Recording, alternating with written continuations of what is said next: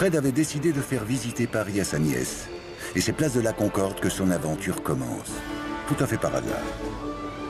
Hé Fred, c'est quoi ça? Ça, c'est l'obélisque. C'est un monument qui vient d'Égypte. Tu te rends compte? Il date de la période de Ramsès II. Alors comment il est arrivé ici? Et puis qu'est-ce qu'il a décrit dessus Ah, t'es piégé, hein? Puisque tu veux tout savoir, va faire un tour en Égypte en 1798. J'en reviens tout de suite.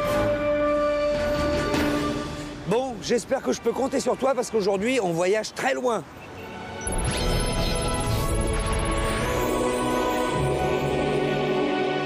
Voilà, tu y es. En pleine campagne d'Égypte. Ça te rappelle quelque chose? La campagne d'Égypte? Qu'est-ce que c'est déjà? Cherche un peu. Ah bah oui, ça me revient. Bonaparte En 1798, il n'était pas encore empereur. Et il décide d'envahir l'Égypte avec 38 000 soldats. Je crois même qu'il avait emmené avec lui toute une équipe de savants et de scientifiques. Quelle drôle d'idée. C'est ça. Tu vois quand tu veux. Bien le costume.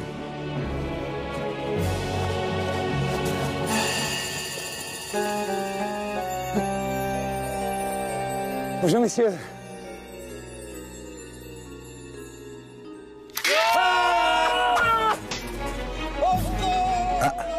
Là, ça commence mal.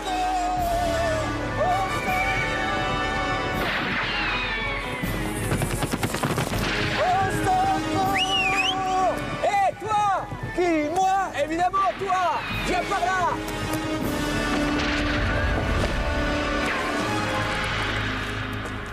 Hé C'est qui cela Les mamelouks, des barbares, t'es pas au courant?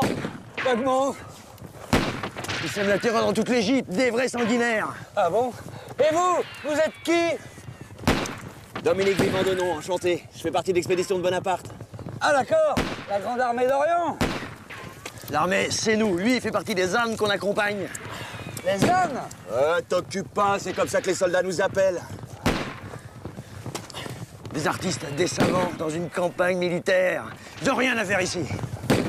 Eh mais vous faites quoi au juste Je recense, je dessine les beautés de l'Égypte, ça se voit pas D'accord.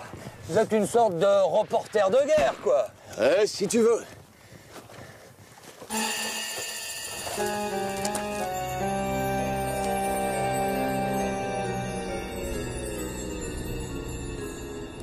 Et, toi, qu'est-ce que tu fais là? Moi? Je viens chercher un obélisque. Un obélisque, t'es pas un peu malade, il y en a partout par ici des obélisques.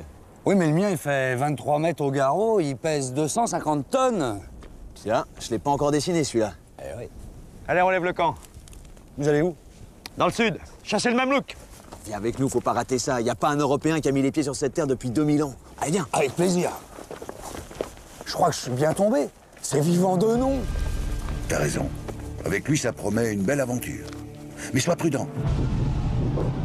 Cette campagne élabore une guerre cruelle contre les Mamelouks qui occupent le pays. À l'époque, l'Égypte est un pays stratégique sur la route des Indes qui intéresse beaucoup les Anglais. La France décide donc de l'envahir avant l'Angleterre. Mais c'est au prix de sanglantes batailles, comme celle d'Aboukir, où la France perd plus de 1700 soldats et presque toute sa flotte. Le général Bonaparte, qui n'a que 29 ans et se passionne pour les sciences, profite aussi de cette expédition pour emmener avec lui 167 savants, artistes et scientifiques qui vont explorer et étudier l'Égypte sous tous les angles. Nous sommes dans une époque quand même où on a envie de déchiffrer les terres lointaines, et en particulier ce pays mystérieux, l'Égypte, dont on ne sait pas lire la civilisation ancienne puisqu'on ne sait pas déchiffrer les hiéroglyphes. Tous ces savants qui passent leur temps à dessiner et à répertorier les richesses du pays paraissent bien inutiles aux yeux des militaires qui les surnomment les ânes. Pourtant, grâce à eux, le monde entier va découvrir l'Égypte des pharaons, cette civilisation mystérieuse oubliée depuis longtemps. Les croquis de Vivant Denon vont éblouir l'Europe. Dominique Vivant-Denon est un esthète, un ancien diplomate, un homme de culture, comme on dirait aujourd'hui, qui a réussi à se glisser dans l'expédition et qui va faire lui-même des merveilles. Il sera le premier, de ces savants et artistes à voir et à être ébloui par la Haute-Égypte. De cette campagne militaire va naître une nouvelle science, l'égyptologie. Vivant de nom est le premier savant de l'expédition à s'aventurer dans le sud du pays. Le voyage commence tout près du Caire, sur le plateau de Gizeh. Ça vous inspire, monsieur Denon? Regarde la beauté de ces monuments. La pureté des lignes. C'est majestueux. Les hommes qui les ont édifiés ont voulu rivaliser avec la nature. Et dire que le monde entier ignore encore l'existence de ces pyramides Oh, ça, ça va peut-être pas durer. Vu l'emplacement, un 4 étoiles avec piscine ici, ça fait un carton. Quel carton? Non, non. Quand je pense aux millions de touristes qui visitent aujourd'hui les pyramides, s'ils savaient ça. Oh T'entends ce que je te dis? Pardon? La bataille des pyramides, ça s'est passé ici, le 3 Thermidor. Une véritable boucherie, on, on aurait dit qu'ils défilaient pour se faire fusiller. Mais de qui vous me parlez? Des mamelouks. Ils voulaient tailler en pièces les Français, comme des citrouilles, qui disaient. En fait, ils sont venus s'empaler sur nos baïonnettes, un véritable bain de sang. Regarde, j'ai tout dessiné. C'était plus un combat, c'était un massacre. Mais votre Bonaparte, il était là au moins? Bien sûr, il était là. Il encourageait les soldats et leur disait euh, Allez Et pensez que du haut de ces monuments, 40 siècles nous observent. C'était pas vous content plutôt? Non, non, il a bien dit nous observe. Ah bon? Et je suis sûr que cette phrase va rester célèbre. Oui, bah ça, c'est pas impossible. Lors de cette fameuse bataille, Bonaparte met fin à la tyrannie des Mamelouks. Officiellement, l'Égypte est encore une province de l'Empire turc. Mais en fait, le pouvoir est aux mains de ces guerriers cousus d'or et d'argent qui font régner la terreur sur le pays. Ce sont en effet d'anciens esclaves, des esclaves affranchis, qui viennent pour la plupart de Turquie ou du Caucase, mais ces soldats affranchis, au fil du temps, ont fini par prendre le pouvoir en Égypte. Cette victoire permet à Bonaparte d'entrer au Caire et de se poser en véritable sultan. Bonaparte n'arrive pas du tout en croisée. Ce n'est pas une croisade, il ne vient pas combattre l'islam. Au contraire, il dit aux Égyptiens et en arabe, je suis un admirateur de l'islam. Il finit même par dire, je suis musulman. Et c'est là que les notables musulmans, très habilement, disent, puisque vous êtes euh, si admiratif de l'islam, devenez donc musulman avec votre armée. Et là, Bonaparte va opposer deux arguments euh, en disant, écoutez, on ne va pas priver l'armée d'alcool et on ne va pas imposer à l'armée la circoncision. Et il renonce à se convertir. Mais il s'installe au Caire avec son état-major et ses savants. Il crée un institut des sciences et des arts. À l'époque, on ignore presque tout de l'Égypte des pharaons. Alors on mesure, on fouille, on dessine. Le sphinx et les pyramides sont encore des mystères. Eh bien, dites donc, quelle histoire, votre bataille des pyramides Les pharaons ont dû se retourner dans leur tombeau. Ah, Es-tu sûr que ce sont des tombeaux? Bah, évidemment. Qu'est-ce que vous voulez que ce soit? Ah, Il y a des historiens qui ont prétendu que c'était des gigantesques bibliothèques, d'autres qui pensaient que c'était des greniers à blé.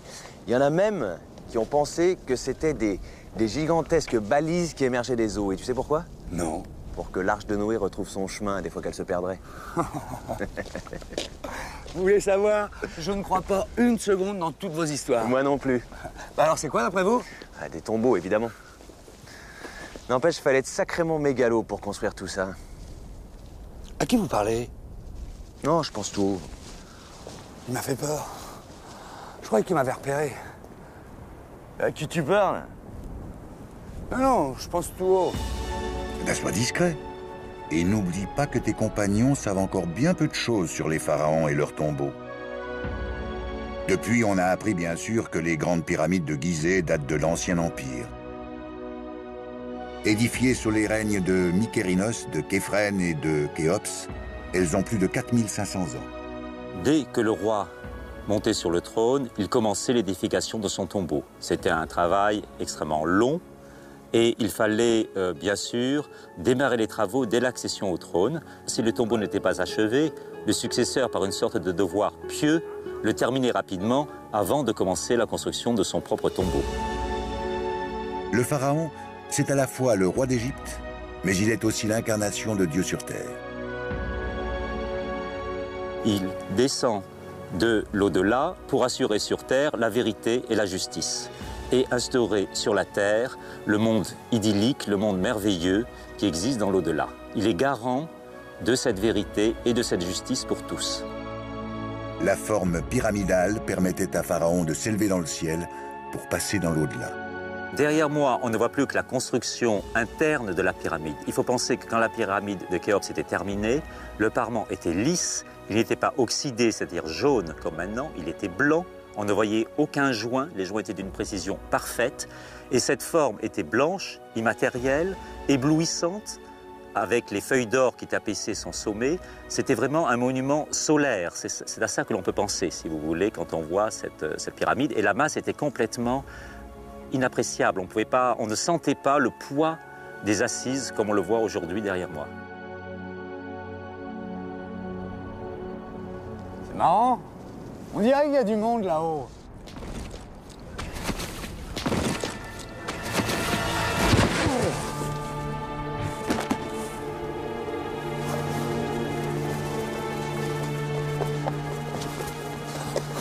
Tu sors, toi De là-haut, j'étais avec vos ânes. Enfin, vos ingénieurs. Ils ont fini de mesurer la pyramide. Alors Alors, je peux vous dire qu'il y a 203 marches de 68 cm. Faites le compte. Euh, Ça doit faire 137 mètres de haut. 137, 218 exactement, monsieur Delon. Et combien de large? 230 mètres. On a calculé qu'avec toutes ces pierres, on pourrait faire un mur de 2 mètres de haut qui ferait tout le tour de la France. Vous vous rendez compte? Et quand je pense à tous les gars qui ont fait ça et qui en sont morts, des esclaves sans doute, tout ça pour une bande de, de tyrans et de despotes, tu sais ce qu'on dit? Non. Il fallait 100 000 esclaves pour faire ça. Mais qu'est-ce qui vous fait dire ça? Hérodote, mon pote. Hérodote. Eh oui, Fred. À l'époque, tout ce que l'on sait sur la construction des pyramides vient d'Hérodote, l'historien grec de l'Antiquité. Mais ces récits ont certainement exagéré la réalité. Il n'y avait pas d'esclaves, bien sûr, à cette époque-là en Égypte.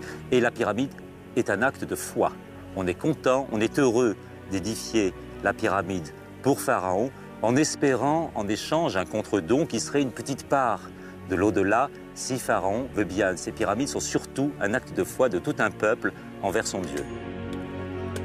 Les bâtisseurs étaient des artisans, des tailleurs de pierre, auxquels s'ajoutaient des paysans lorsque le Nil était en crue et qu'ils ne pouvaient pas cultiver leurs terres. Mais il n'y avait pas d'esclaves. Pour construire la pyramide de Khéops, on estime qu'il a fallu de 10 000 à 30 000 hommes pendant 20 ans. Nous savons que les Égyptiens utilisaient des rampes. Nous savons qu'ils faisaient glisser les pierres chargées sur des traîneaux. Nous savons également que c'était fait par des attelages humains. Ce ne sont pas des animaux qui tiraient ces pierres. Maintenant, à partir des rampes, à partir de ces gens qui tirent les pierres, comment a-t-on pu monter jusqu'à 146 mètres de haut pour Khéops? Toute la question est là. Aujourd'hui encore, la construction des pyramides reste en partie un mystère.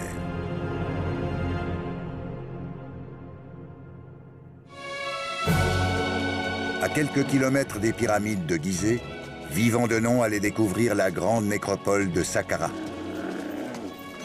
C'est quoi ça? Vous avez vu? On a l'impression qu'ils n'ont pas eu le temps de la finir, celle-là. Ah ouais? Eh, dites donc, soldat, combien vous comptez de marche sur celle-ci? Un coup six, monsieur Delon. Ah. Eh, à quelle hauteur par marche Oh, je voulais faire 9 mètres. Ce qui nous fait donc du 54 mètres. C'est pas très haut Mais c'est curieux. Pourquoi elle est en escalier comme ça Ouais, je sais pas pourquoi elle est pas lisse comme les autres. Allons voir. Approchons-nous. Bah, tu devrais le savoir, Fred. Ces pyramides à degrés, comme on les appelle, sont plus anciennes que celles de Gizeh. Elles datent du début de l'Ancien Empire. Celle-ci a été construite pour le pharaon Djéser, à une époque où l'on ne savait pas encore construire de pyramides à pans lisses.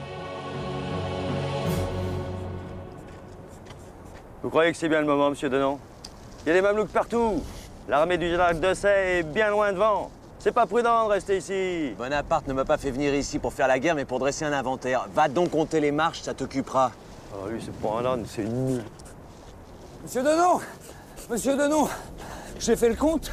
Il y a au moins une quinzaine de pyramides dans le coin, mais plus ou moins bon état. hein. J'aimerais bien arriver à en visiter une, à rentrer à l'intérieur. Tu veux pas essayer de trouver un accès? Oh bah ça, ça me paraît difficile. C'est complètement ensablé. T'aurais pas peur par hasard? Peur? D'accord. Je vais voir ce que je peux faire. Je sais ce que je peux faire. Et pendant qu'il dessine, ni vu ni connu, je vais aller visiter une pyramide. On zappe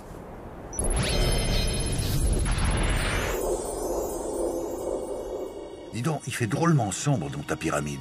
T'as pas un peu la trouille? Mais non, et puis t'inquiète pas, je suis attendu. Regarde ces hiéroglyphes. Ce sont les textes des pyramides. Ah, monsieur Labrousse. J'ai vraiment besoin d'un petit coup de main pour comprendre la signification de ces hiéroglyphes. Aidez-moi.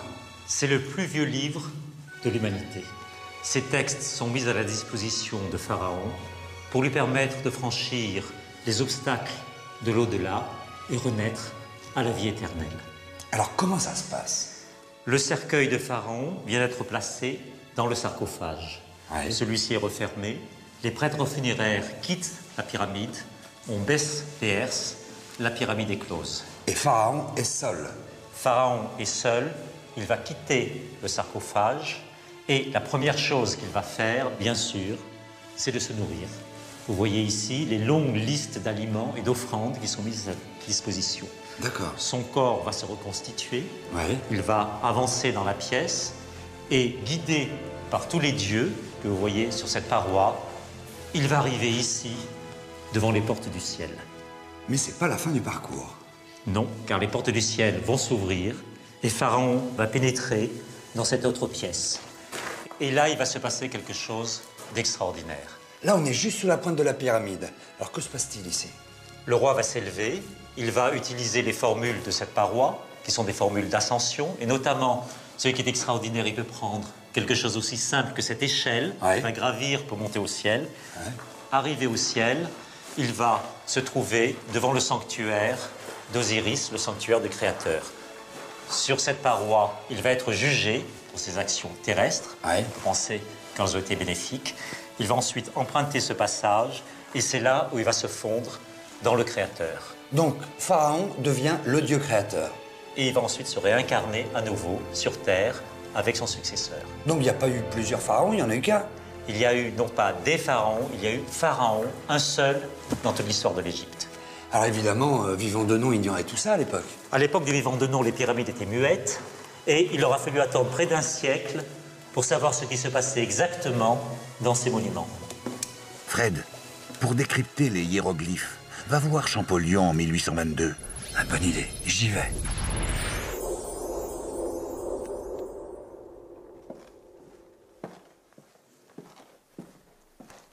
Bonjour, je cherche euh, Jean-François Champollion. C'est moi. Ça tombe bien, il paraît que vous savez parler le hiéroglyphe. Vous voulez dire lire le hiéroglyphe enfin, lire. J'y travaille, j'y travaille, un peu de patience. Euh, On m'a dit que vous aviez la pierre de Rosette aussi.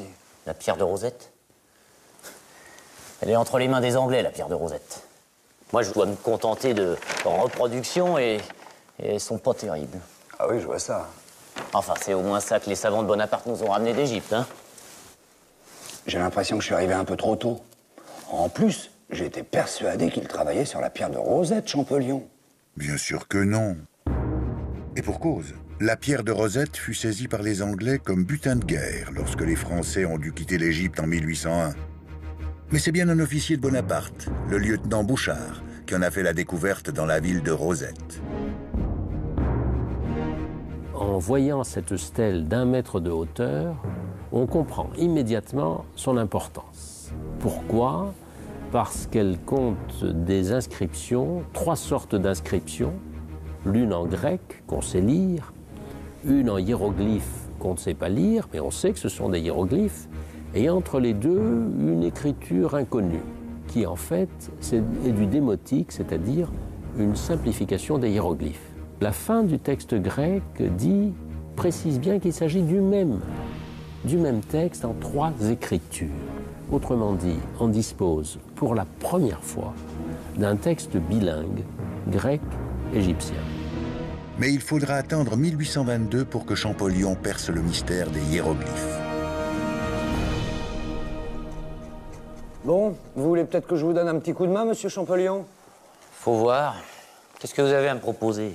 Bah, c'est simple, j'ai un copain, il est scribe euh, chez Ramsès II, on peut aller le voir. Ben voyons. Mais encore? Encore? Oh bah, c'est un passionné de jeu. Enfin, ceci ne nous regarde pas. Ah, tout à fait, tout à fait. Ceci ne nous regarde pas, oui. Bon, bah, je vais vous laisser bosser. Hein. Bonne idée. Je reviendrai un peu plus tard. C'est ça.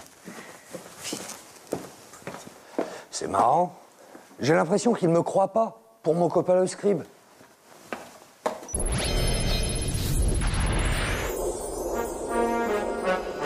« 1276 avant Jésus-Christ.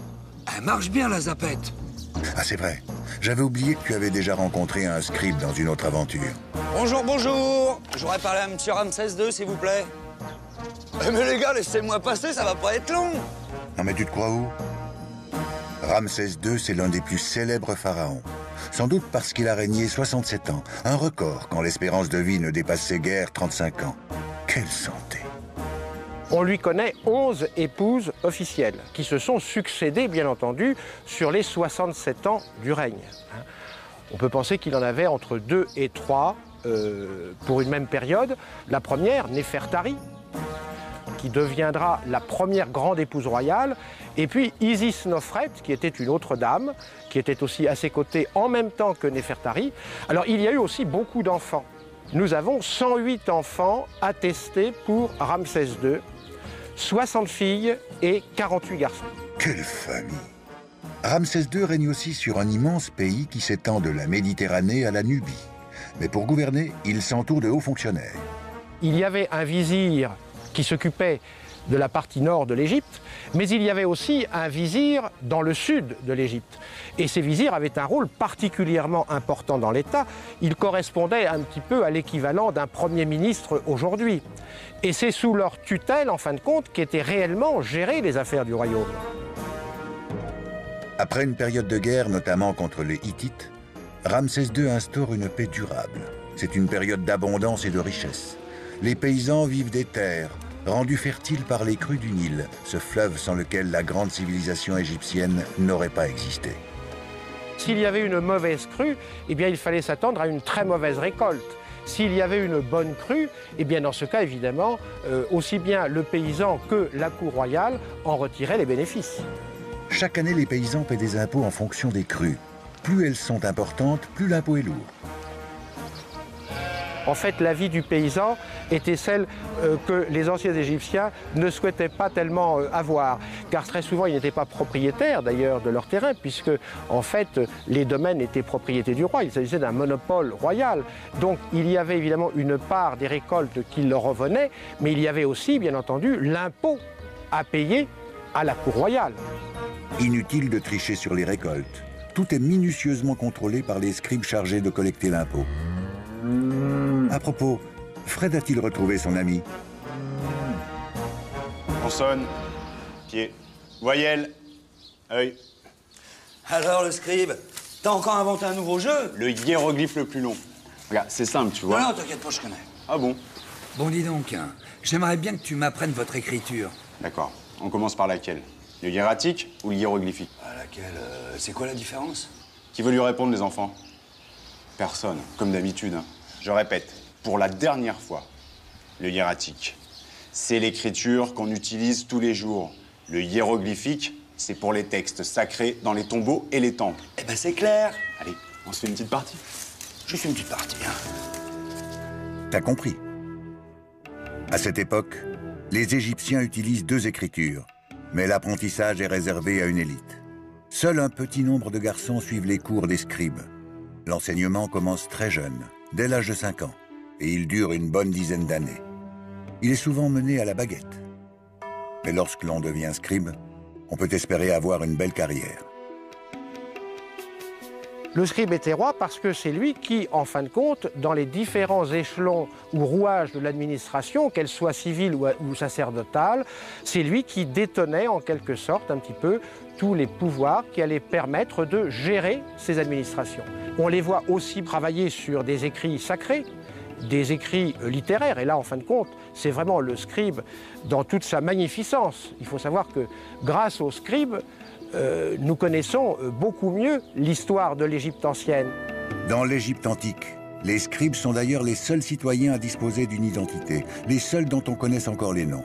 Alors Fred, le métier rentre? Le cours est terminé. C'est ça. Plus tard.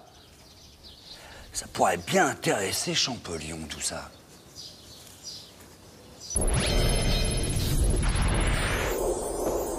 Monsieur Champollion, j'ai une bonne nouvelle. Je sais comment ça marche, les hiéroglyphes. Moi aussi Je tire l'affaire Sais-tu seulement ce que signifie le mot hiéroglyphe? Ah bah non, en fait. Eh bien, ça signifie écriture des dieux. C'est une écriture formée de deux sortes de signes. Certains signes représentent tout simplement la réalité. Tiens, une vache, c'est une vache. Un. Tiens, un poisson. C'est un poisson. Eh oui, c'est ce que l'on appelle des idéogrammes. Tiens, et ça, tu sais ce que c'est On dirait un homme qui tombe. Et ça signifie tomber.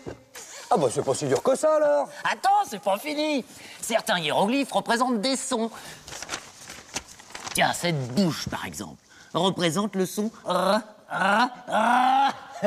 Donc si je comprends bien, pour écrire, on peut cumuler les deux, les idéogrammes et les phonogrammes. Bah t'as tout compris Vous vous rendez compte? Vous êtes en train de bouleverser l'égyptologie. Ouais. C'est même le vrai début de l'égyptologie. Grâce à lui, les scientifiques du monde entier vont enfin pouvoir comprendre l'Égypte des pharaons. Un génie, ce Champollion. Il faut dire qu'il a un certain talent pour les langues. À 9 ans, il connaît déjà le latin, à 13 ans l'hébreu, à 14 ans l'arabe. Ça aide pour étudier les hiéroglyphes. On voit à 16 ans le jeune Champollion disant Je veux comprendre les vieux pharaons. C'est son expression. C'est-à-dire qu'il a, il a euh, opté pour la découverte de la civilisation égyptienne. Non plus de l'Antiquité en général, mais de l'Égypte. Et il dit Je vais déchiffrer les hiéroglyphes pour comprendre qui étaient ces pharaons, pourquoi ces monuments fantastiques, qui étaient ces Égyptiens, quelles étaient leurs croyances, leur manière de vivre. En 1809, il commence à travailler sur les reproductions de la pierre de Rosette. C'est le début d'une longue période d'études. 12 ans vont se passer euh, avant qu'il ne pénètre vraiment, euh, qu'il ne saisisse la clé des hiéroglyphes. C'est 12 ans d'un travail en pointillé. Et parfois, il va passer un an, deux ans sans pouvoir vraiment étudier et se remettre à ces chers hiéroglyphes. Et chance ou malchance, en 1821, on lui retire à nouveau pour la énième fois le travail qu'il a d'enseignement à l'université de Grenoble. Donc là, il part à Paris et finalement, un an plus tard, il annonce au monde la, le, le principe du système des hiéroglyphes. En 1828, Champollion réalise son rêve d'enfant. Il part en Égypte pour vérifier ses travaux. Il rentre en France un an et demi plus tard, en ayant identifié la plupart des monuments. Il est mort trop jeune, malheureusement, à 41 ans. Il avait préparé tous les documents pour publier une grammaire et un dictionnaire égyptien. Ces ouvrages contiennent toutes les clés pour traduire les hiéroglyphes jusqu'à la signification de la couleur des signes. Une Bible pour les chercheurs.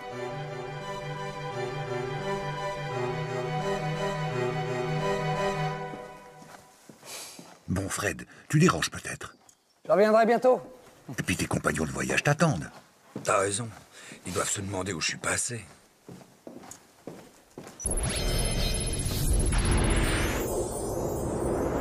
Baisse-toi. Eh, vivant, qu'est-ce qui t'arrive? Tu me reconnais pas? C'est moi Baisse-toi, je te dis.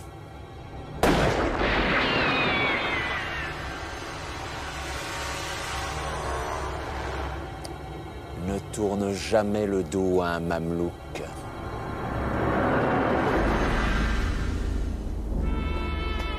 C'est encore pas passé loin, hein. C'est la deuxième fois qu'il te sauve la vie. Alors, monsieur Lenon, on prend go aux armes Allez, on lève le camp. Le reste de l'armée est bien loin devant.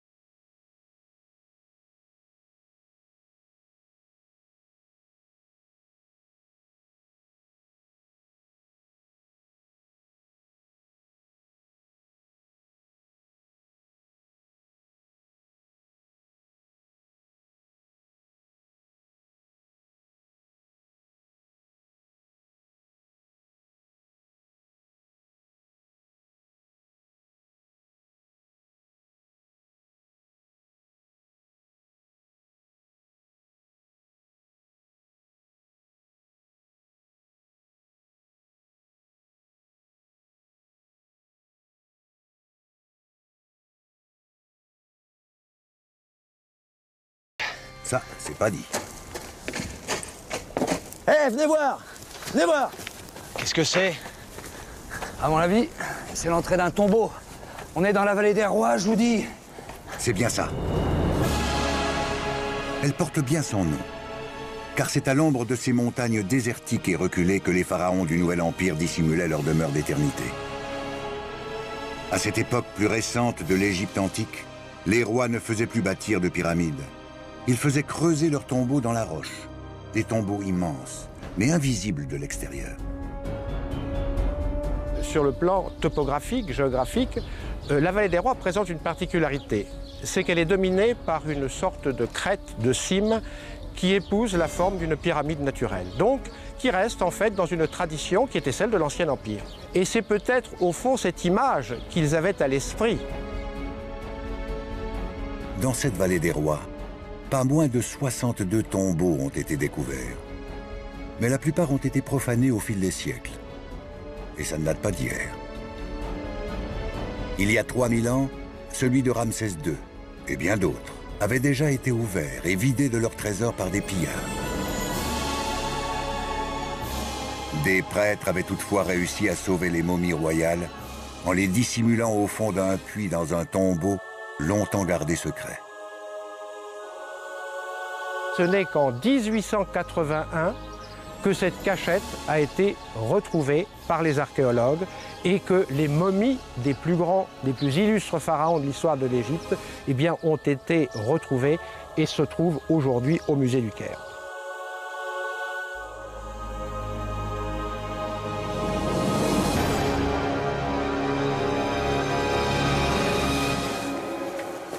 Allez, suivez-moi.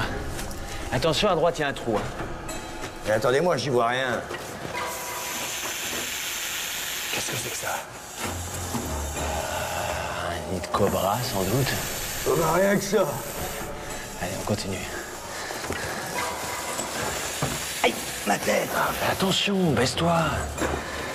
Allez. On continue.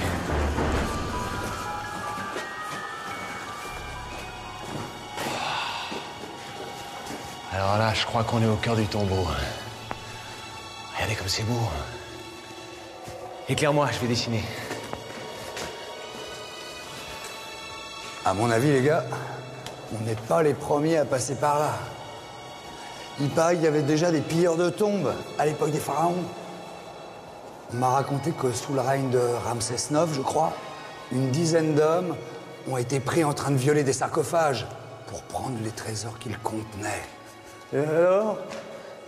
Alors On les a empalés sur des pieux pour les punir. C'est peut-être pas bien ce qu'on est en train de faire, les gars. On profane. Moi, je vous dis qu'on n'est pas tout seul ici. Éclaire-moi et arrête de trembler, crénon de nom. J'avais bien dit qu'on n'était pas tout seul ici Malédiction Sur quoi j'ai marché? Qu'est-ce que c'est que ça? Qu'est-ce que c'est? Un pied Un pied de momie? Ah, Malédiction Ça me rappelle l'affaire tout en camon. Tout en quoi Non, tu peux pas connaître. Viens, on reste pas ici. L'affaire Toutankhamon? Mais Fred, il ne peut pas connaître. Elle se passe en 1922. Quelle histoire Cette année-là, un archéologue britannique nommé Howard Carter mène des fouilles dans un secteur délaissé de la vallée des rois quand... Un beau jour de novembre 1922, le 4 novembre précisément, eh bien Carter, avec son équipe d'ouvriers, voit apparaître les premières marches d'une tombe qui finalement allait s'avérer être une tombe qui n'avait pas été violée.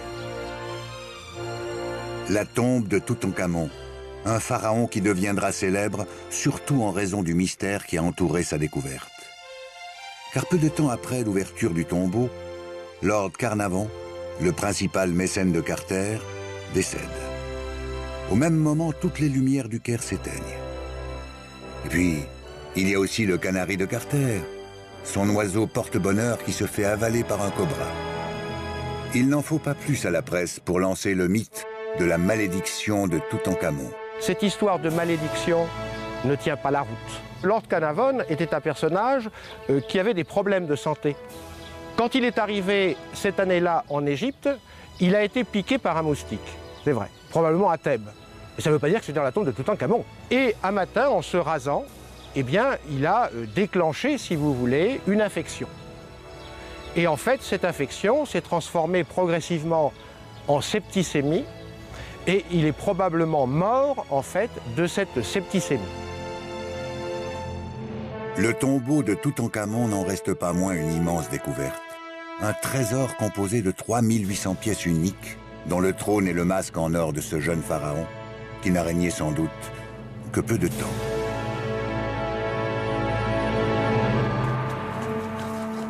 Vous avez vu, c'est là-dessus que j'ai marché. C'est un pied de momie. Allons, messieurs, un peu de sang-froid. Montre. Magnifique. Qu'est-ce que vous allez en faire? Vous allez le mettre dans un musée? Je sais pas encore. Tu me le gardes? Précieusement, hein Monsieur. Ouais. Baissez-vous légèrement, je vous prie. Ah, il tire toujours aussi mal. Qui donc? Mais les mamelouks, allez, restons pas là. Et au fait, vous savez que ce pied va avoir une longue histoire. C'est lui qui va inspirer Théophile Gautier lorsqu'il va écrire le roman de la momie. Vivant de nom ramènera ce pied à Paris, dans ses bagages. En pénétrant dans les tombeaux, il découvre et dessine de nombreux corps emmaillotés, plus ou moins bien conservés, car la momification n'était pas réservée aux rois. Riches ou pauvres, tous les Égyptiens pouvaient être embaumés. C'était une façon de prolonger la vie dans l'au-delà. Mais les plus belles momies sont celles des pharaons, car ils bénéficiaient des meilleurs procédés d'embaumement. Celle de Ramsès II, amenée en France en 1976 pour être examinée, a révélé des détails très précis sur son physique.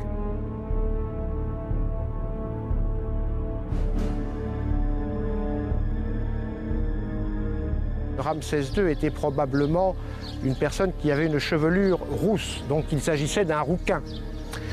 En fait, euh, d'autres analyses ont été faites par des laboratoires français et euh, on arrive aujourd'hui à une conclusion euh, plus nuancée. Il n'est pas impossible que la chevelure de Ramsès ait été colorée ou teinte, peut-être au moment du rituel de la momification du roi. Ramsès II repose aujourd'hui au musée du Caire. Pour fuir les embuscades des Mamelouks, Dominique Vivant Denon avait décidé de traverser le Nil pour rejoindre sur la rive opposée à la vallée des rois le temple de Karnak. Qu'est-ce qu'on est tranquille sur ce Nil Et puis alors ça fait du bien un peu de fraîcheur après le désert. Hein Comment veux-tu que j'arrive à croquer ce pied? Arrête de bouger J'aimerais bien savoir à qui il a appartenu ce pied. Ah, Sûrement à une jolie jambe, euh, d'une jolie femme, peut-être à une princesse des mille et une nuits. Peut-être. En tout cas, il est drôlement bien conservé. Pour la momification, il faut reconnaître que les Égyptiens étaient des as, ils momifiaient même les animaux. Les chats, les singes, les, les taureaux, les crocodiles. Enfin, les animaux sacrés.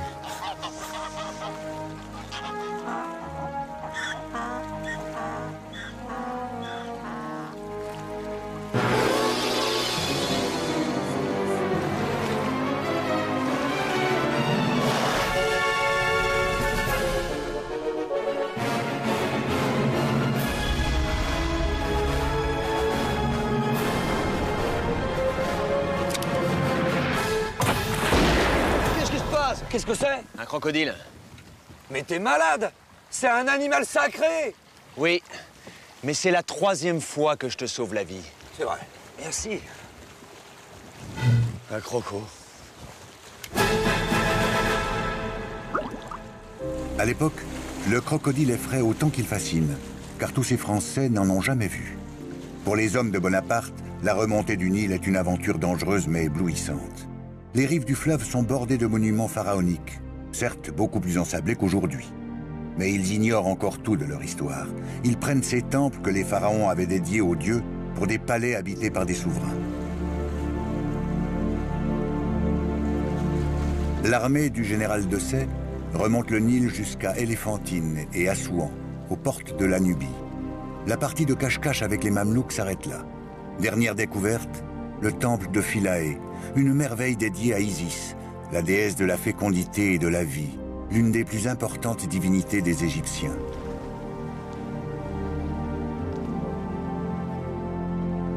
Mais les savants de Bonaparte n'ont ni le temps ni la chance de franchir les cataractes du Nil pour débarquer au pied d'Abou Simbel, qui n'a été découvert qu'en 1812. Ces deux temples, creusés dans une falaise de grès, sont la plus grande réalisation de Ramsès II, dont les statues géantes gardent l'entrée principale. Au moment de la construction du grand barrage d'Assouan, vers 1960, les temples d'Abou Simbel ont été découpés bloc par bloc et reconstitués 64 mètres plus haut pour échapper aux eaux du lac Nasser. Fred non plus n'aura pas le loisir d'aller jusqu'à Abou Simbel. Il s'approche des temples de Karnak et de Luxor. Et quelque chose me fait dire qu'il touche son but, car les obélisques ne manquent pas dans la région. Karnak est le plus vaste des temples de l'Égypte antique. Une demeure de géants réservée au dieu Amon. Seul le pharaon et les prêtres pouvaient y pénétrer pour vénérer leur dieu et lui faire des offrandes. Lorsque les savants de Bonaparte découvrent Karnak, le temple est très ensablé. La salle hypostyle aux 134 colonnes est encore en partie recouverte d'un plafond. Mais un siècle plus tard, en 1899, bon nombre de ces colonnes s'effondrent. À quelques lieues de là, il découvre un autre temple en meilleur état. C'est Luxor qui est relié à Karnak par une longue allée bordée de sphinx. Ce monument a été construit avant le règne de Ramsès II, mais il y a laissé son empreinte, en ajoutant six statues monumentales et deux obélisques devant lesquels les savants de Bonaparte tombent en admiration.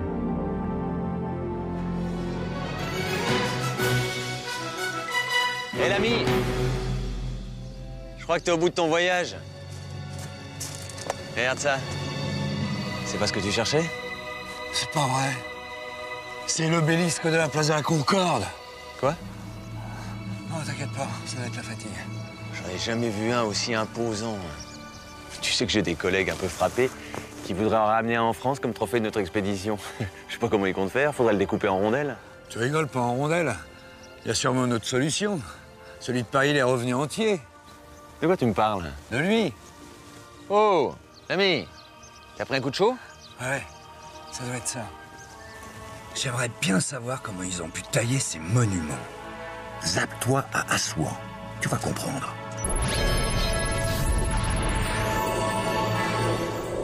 Eh bien voilà, les carrières de granit d'Assouan. Eh oui, Fred. C'est ici que les pharaons faisaient tailler les obélisques qui ornent les temples, dont l'obélisque qui est aujourd'hui place de la Concorde, à Paris. Bonjour monsieur, excusez-moi, je voudrais savoir comment on découpait le granit à l'époque des pharaons. Ben, c'est simple. Regardez. Les ouvriers faisaient des entailles avec leurs outils. Et dans ces entailles, ils mettaient des coins de bois qu'ils arrosaient régulièrement. Bah et alors? Bah et alors, le bois gonflait et faisait éclater le granit sur toute sa longueur. C'est génial, c'est exactement ce que je voulais savoir. Vous êtes égyptologue? Euh, non, pourquoi? Bah comment vous savez tout ça? Bah, c'est écrit dans tous les bons guides touristiques. Tenez, je vous le donne. Ah merci Excusez-moi, j'ai un ami qui m'attend. Eh bien voilà, tu sais tout. Maintenant, je vais te raconter comment l'obélisque de Luxor est arrivé à Paris. En fait, c'est le sultan Méhémet Ali qui l'a offert à Champollion et à la France en 1831. Ça fait des années que Champollion travaille essentiellement sur des obélisques pour arriver à déchiffrer euh, les hiéroglyphes. Maintenant, sait les lire. Euh, donc, il est devant ces obélisques et en, même temps, il prend un coup de foot pour l'obélisque qui est euh, côté ouest, hein, l'obélisque ouest de la paire, en disant que c'est réellement celui-ci. S'il y en a un qui doit venir à Paris pour le prestige de la France, c'est celui-ci. Rapporter cet encombrant cadeau à Paris n'est pas une mince affaire. Il faut six ans et un bateau spécialement construit pour l'occasion pour mener à bien l'opération. Pendant ce temps, en France, les Parisiens trépignent d'impatience. La presse euh, se faisait l'écho de cette expédition et euh, la population de Paris euh, s'intéressait de plus en plus à cette expédition, une sorte d'expédition lointaine. Pour faire réfléchir un peu le- les Parisiens ou anticiper, le, le- gouvernement fait installer de faux obélisques en préfiguration de ce que ça va être. Donc il y en a un qui est érigé place de la Concorde, une sorte d'obélisque en bois avec des faux hiéroglyphes dessus, un autre qui est sur les Invalides. Finalement, le 25 octobre 1836, en présence de Louis-Philippe et de 20 000 personnes, l'obélisque est érigé place de la Concorde. Mais Champollion n'assiste pas à l'événement. Il est décédé, quatre ans auparavant. Hé, qu'est-ce que t'en penses?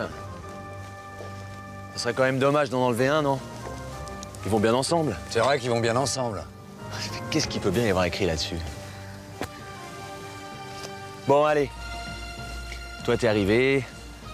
Moi, j'ai encore un peu de chemin. À bientôt. À bientôt. Et merci pour les trois vies. Tout le plaisir était pour moi. Salut Salut Bon, vous voulez savoir à quoi ça ressemble maintenant? Eh ben on y va.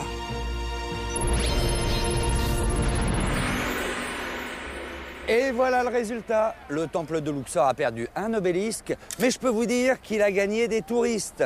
D'ailleurs, celui-ci aussi a bien failli se retrouver à Paris puisqu'il avait également été donné à la France. Et le gouvernement français y a renoncé en 1986. C'est pas très vieux. Bon, j'ai une petite surprise à faire. Eh regarde, je t'ai amené un petit cadeau, une photo de ton frère. Je te rassure, il se porte très bien à Paris, tout le monde le chouchoute. On vient même de lui redorer le chapeau. C'est pas une blague. Hein. Bon, je lui dirai bonjour pour toi. Hein. Et qui vous parlez? Bah lui, je lui présente son frère. Non, laissez tomber. Bon, je m'en zappe, j'ai ma nièce qui m'attend.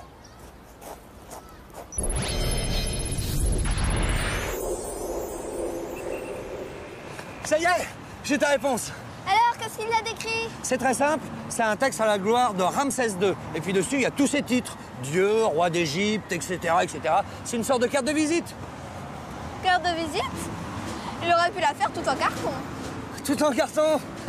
Elle est bonne celle-là, j'y avais pas pensé. Tout en carton.